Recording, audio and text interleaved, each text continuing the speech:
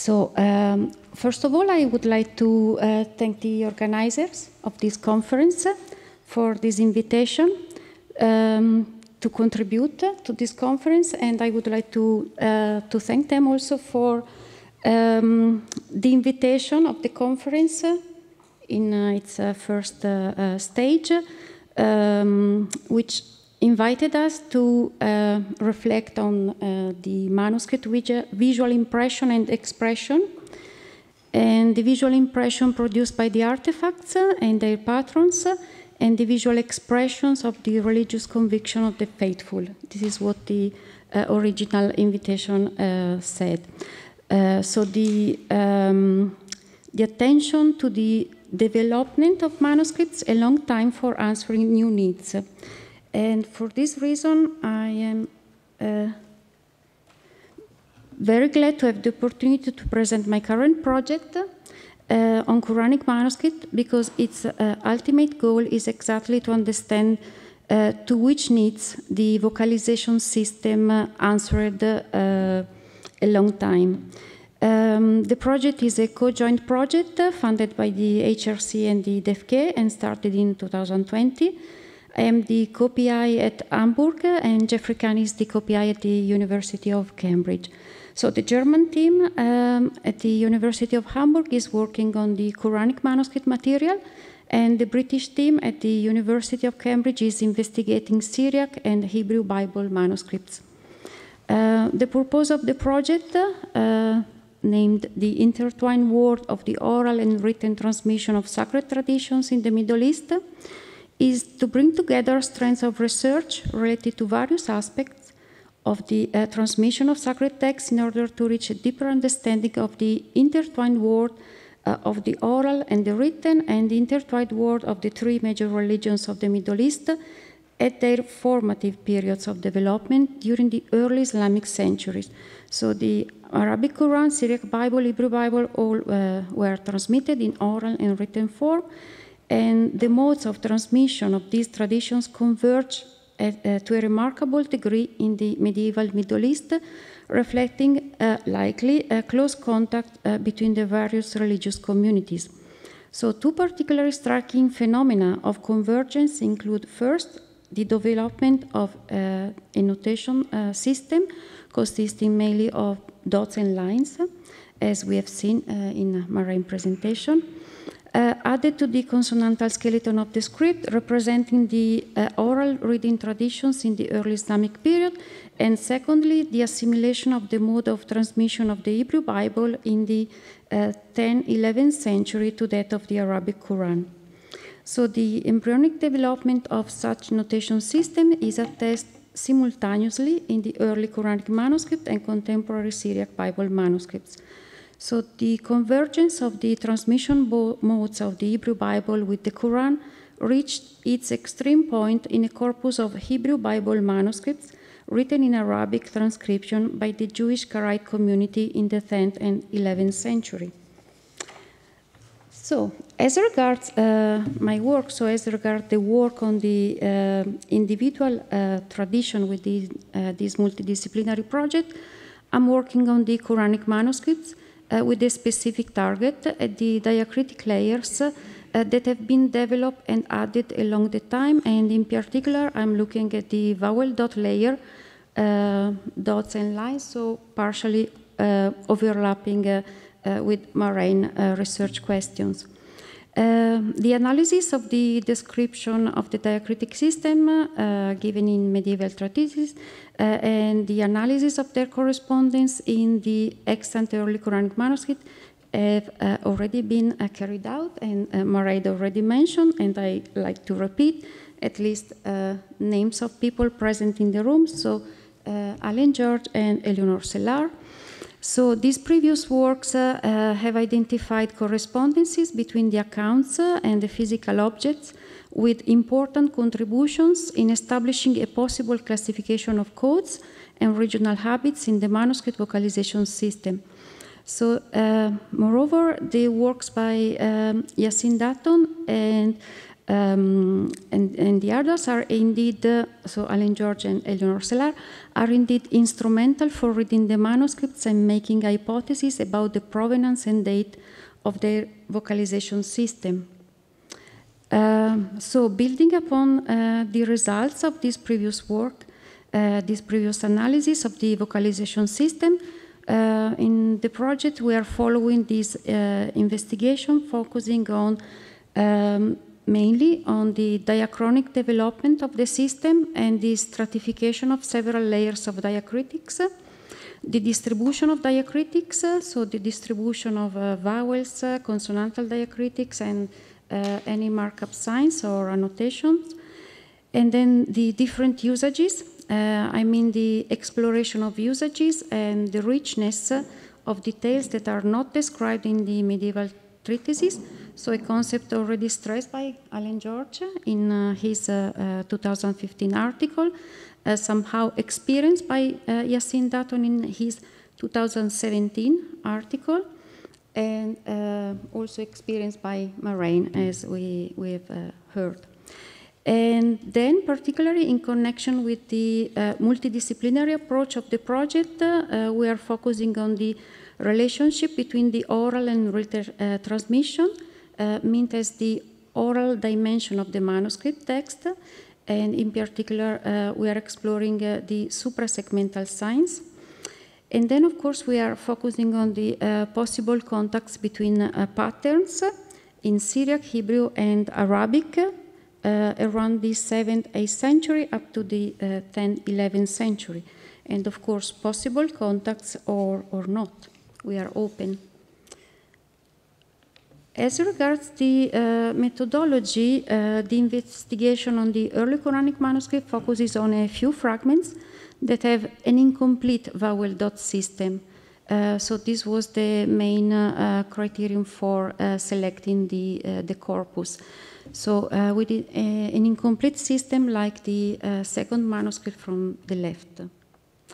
Um, Hopefully, uh, this incomplete vowel dot system uh, encapsulates uh, the original function of these vowel dots and other diacritical signs that were added from the 8th century on when Arab Muslims introduced uh, their first vocalization dot system, which was later replaced uh, uh, by modern vowel letters that first appeared in non Quranic manuscript of the 9th century.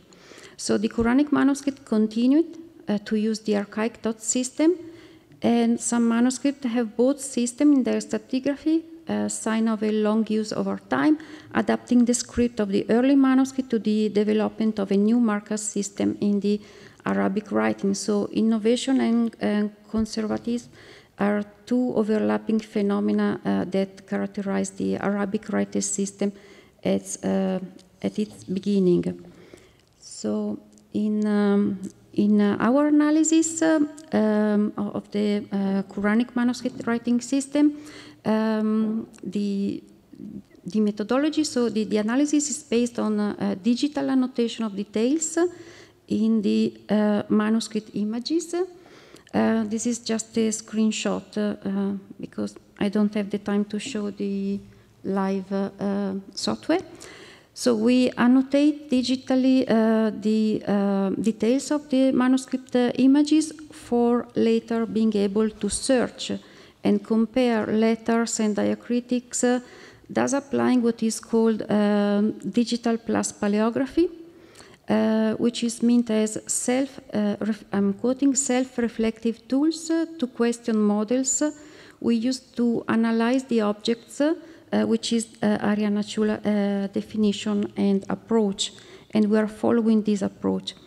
So, reading early Quranic manuscript and interpreting uh, their early vocalization system that was later replaced with a more efficient system required to question the model. Uh, scholars built upon a one to one correspondence between the dot system and the modern letter system of vocalization uh, but of course, the passage from one system uh, to the other represents a reformatting uh, of the text and its reading in a new form. And here is, uh, as I told you, is a screenshot of how we uh, annotate the um, letters and diacritic layer I mean, there's consonantal diacritics, vowels, uh, or any other sign added to the consonantal skeleton um, by um, basically by annotating each detail. Here you can see we annotate the, uh, the dots as a dot with a certain color in a certain position, which is right, left, center, uh, baseline above or below, and other details. So the digital paleographic uh, um, annotations are uh, just an instrument for reading, questioning our model, and encoding the manuscript uh, text and features in an editorial environment that allows to create data from the manuscript that can be processed, analyzed, and mined for answering the research question proposed in, in our project, but also uh, research questions related to the Quranic text in its uh, manuscript culture that are not part of um, this three-year uh, joint project. So data can be used, uh, for example, for phylogenetic analysis. Uh, as far as the um, the manuscript and uh, their text are uh, encoded in, in a certain way.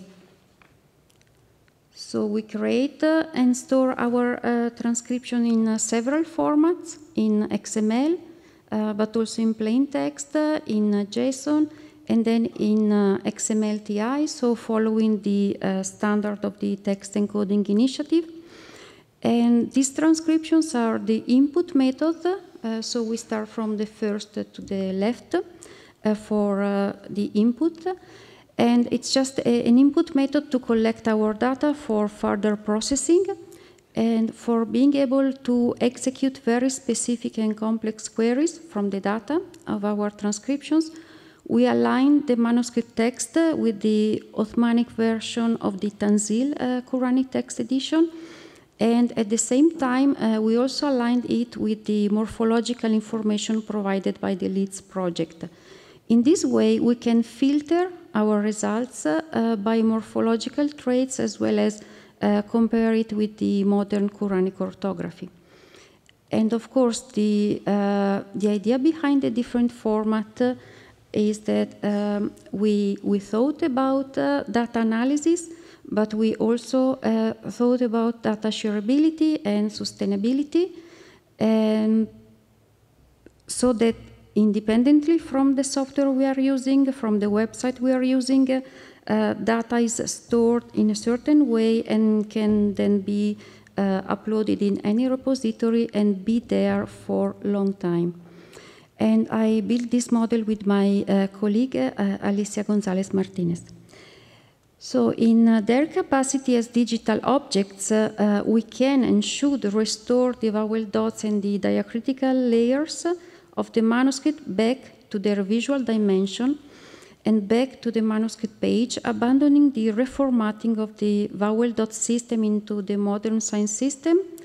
And moreover, we should, and here I'm quoting a, a work uh, in uh, media studies, so uh, we should see the turn to digital images as yet another remediation of materially extant text in manuscripts uh, because media matter and that changes uh, in technological media will influence uh, human sensation, experience, knowledge and or practice. End of quotation. So remediation of the manuscript page uh, is given by uh, the new experience that we can have uh, accessing manuscripts through the digital open access images. And of course, uh, one example is the, uh, BNF. So questioning and reformatting the script we experience in the page uh, this, of course, could be further elaborated uh, in connection with new philology, with material uh, culture, uh, but because of time and uh, especially because we are still in the uh, middle of our project collecting data, I will just show you two situations I encountered in the manuscript.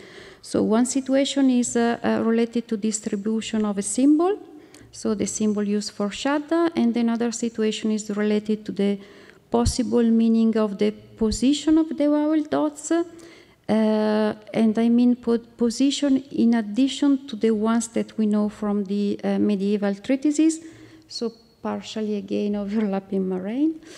Um, and the, the, um, the, the first uh, situation is, uh, as I told you, a symbol. Um, for the tashdid, so we have more than one uh, symbol correspond, uh, corresponding to tashdid uh, that nowadays is marked with a small shin. And this picture, to my knowledge, is the model that we uh, know uh, up to now um, from the analysis of, of the manuscripts.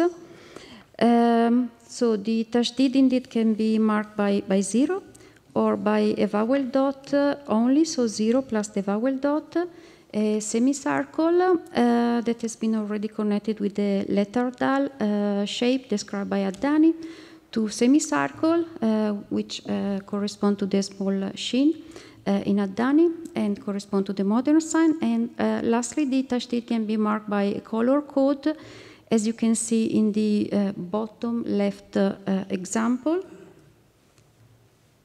Uh, so the, the red dot uh, below the ra in uh, marks uh, uh, the vowel I, kasra, while the blue dot below the letter ra in Bishari marks both vowel and tashdid. So one sign for two pieces of information. In manuscript with a partial vocalization marker system, the distribution of shadda symbols has different patterns. The pattern that occurs most uh, frequently that I was able to uh, observe up to now is that uh, the, the symbol, when uh, it is used, uh, mark a proper gemination only and not the assimilation. Uh, in some manuscripts, the tashdid symbol is used only to mark the gemination in words that would have another meaning without tashdid, uh, thus, for example, in the pair kadhaba kadhaba, uh, so to lie or to accuse of lying, the tashdid symbol is added uh, to distinguish the two contrastive sounds only when it, when it is needed, when it's the only uh, possible uh, sign to distinguish the two uh, words. So, as I told you, we are still collecting data for observing the distribution of the shadda, but I would like to make a further observation about the shape of the symbols used in correspondence of the stitch and its position as a, possibly a suprasegmental sign. So in uh, this two-leaf in a two-leaf fragment from Damascus, uh, that is also uh, modern signs for the vowels. The shadda symbol is uh, constituted by two vertical uh, wavy lines in red ink, which, to my knowledge, have not been described in previous literature, and I would be just happy to hear uh, that someone has uh, um, already uh, an interpretation for that. So it is used to mark the uh, proper gemination for distinguishing mainly pair of words, but also to mark assimilation when only one consonant is kept in the uh, consonantal skeleton. Uh, in this manuscript, uh, likely from Damascus too, uh, the Shadda symbol is uh, represented by a, a, horizontal line with a semicircle, uh, which again, uh, to my knowledge, has not been described in previous literature. So as regards its distribution, it is used as well to mark mainly the proper gemination for distinguishing pair words, but not only, and we are still working on the, on the pattern. Uh, what is interesting is the position of this symbol if the position has a meaning. So here the same verb, uh, kadhaba, has a, the, the symbol for the gemination uh, of dal, but as you can see, the symbol uh, is not placed in the same position. So it is placed between uh, dal and ba uh, in the three examples uh, on the left, or between kaf and dal uh, in the picture at the top right. In dhukira, uh, we have the same, so the position of the, the shadda is the same. It's between the first and the second letter. Um, so my initial hypothesis, um, and I'm going in this direction, is that the position can mark as well the stress. As regards its shape, um, I haven't yet um, a precise argument for explaining these wavy lines. Uh, we are working on that, and I mean uh, mm, with the uh, Cambridge team also. Uh, so what I can observe is uh, basically there being a connection between two syllables, somehow similarly to the joining line between the letters dal and tha that you can see at the uh, bottom right. So if the symbol is a, a mark, um, so if it is the case, so if it is a joining element, uh, again the symbol uh, can mark a suprasegmental feature. And so uh, my second uh, situation that I would like to uh, show you is related again to a suprasegmental sign category. Regarding the, the dots. So according to the uh, accepted model, as we have seen in uh, Marijn's presentation, um, the dots have three rather clearly defined positions. I would say domain in terms of space uh, around the letter, except of course the very complicated uh, case of uh, waw, alif and ya with hamza, and in general the hamza. But for the rest, uh, according to the accepted model, the dots have three clear uh, defined uh, positions. Um, but then in the manuscript reality, we have a wider range of possibilities. And these possibilities uh, mean that the dots are, at the end, difficult to be understood unequivocally, at least in this early manuscript, uh, not written at all for hosting vowel dots. Uh, so my focus is on those dots that are placed uh, between words, thus crossing uh, uh word boundaries in order to explore the possible nature as suprasegmental sign. So here uh, you can see the final dot for kasra in Alamoeli is physically attached to the waw of the following word. So the transcription that we are using uh, and that we um, developed encodes uh, this dot uh, which is below the letter but placed at its left piercing the first letter of the following word. So in this uh, transcription in uh, Latin alphabet and, and other symbols, we put all these uh, pieces of information. And I'm going to show you uh, very quickly some further examples taken from the same manuscript. Uh, so here you have uh, Allahi or Lillahi, so the same uh, dot, uh, the same word, same vocalization, but different position for the final vowel. Um, here is another example, so uh, Fajama'a and you can see that the dot for um, the final, uh, for the fatha, is uh, placed between the two words. In this example too, the final dot for, uh, for the kasra is placed uh, at the left of the final lam. And um, how are we sure that this is something not part of the um, of the system used in the manuscript, so can be another meaning, uh, because we compare this situation with the, the possible position of a dot marking kasra in the same manuscript after the paleographic annotation of the images that I showed you. So we see that the dot uh, is uh, almost always placed below the letter, so we, uh, we take into consideration the same letter, same position, same uh, dot. So it's placed, the dot is placed below the letter in correspondence of the vertical line of the ascender, so in the middle, at the center of the letter, or at the right of the descender. Uh, so the position at the left in this manuscript is not uh, what is uh, uh usually used. So one possibility to explore is um, whether the dot position here marks the connection with the following word in the pair, uh, or um, we, we, want to see uh, if whether the connection is not just the visual connection, but is referring to the reading. And I, um, I would uh, go to, toward the conclusion uh, quoting uh, Alan George um, final statement in uh, his article. Um, so modern scholarship has tended to approach these manuscripts as uh, the record of a text and as a flat canvas crafted for the eyes. But these were full objects uh, meant to be displayed, studied, and used for recitation.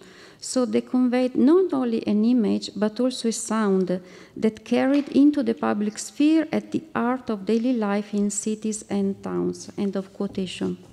So, to conclude, the investigation of these uh, uh, tiny details of the diacritic layers of the early manuscript can shed light on the orality as a performance, on the oral dimension of the written scriptural text, to quote Graham, as it is evident from the suprasegmental signs uh, that disappeared uh, later, uh, like the, all the signs for uh, Wasla, for example, uh, or like the green line turning upwards that we can see uh, here in this picture. so the um, the remediation of the manuscript page uh, makes manuscripts as visual objects uh, that the reader can experience uh, without the mediation of the printed text and have to be understood taking into consideration their plan or executed performance. So this investigation on the diacritics layer sheds light on the materiality of the process of disambiguation of the script of the Quran, uh, to understand the function of the diacritic strata added along uh, centuries means to understand the new needs that these diacritic symbols aimed at answering, and these needs are particularly evident in those manuscripts with a partial vocalization and those manuscripts in which the dots are a later introduction. So the innovation of the vowel dots and uh, of the whole markup system is part of the changes that the written transmission of the Quranic text underwent, which is exactly the proposed uh, focus of this conference. Uh, so thanks again for this invitation, and of course more results uh, uh, hopefully will follow uh, from the two teams of the uh, InterSaME project, so including um, the uh, the investigation of the possible uh, contacts with the other traditions. So thank you.